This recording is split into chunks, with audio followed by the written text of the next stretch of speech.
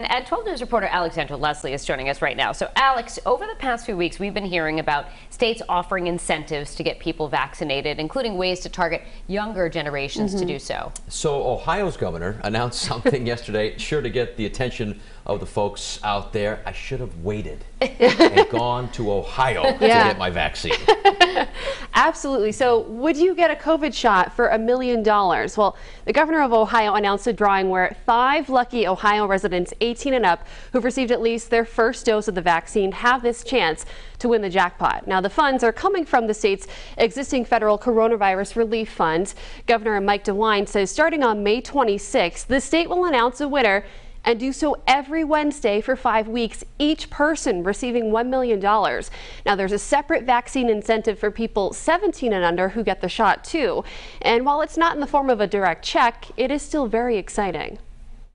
The winner will receive a full four-year scholarship to any one of our state universities.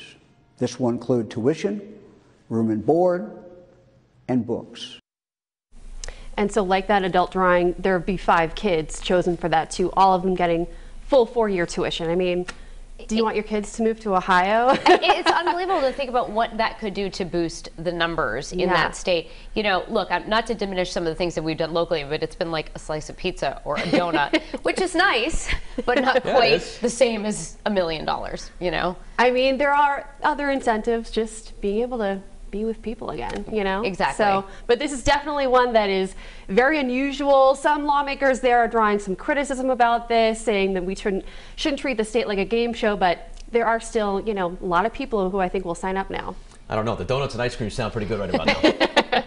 and the pizza. Yeah. Right. Yeah. Thanks, Thanks for the update.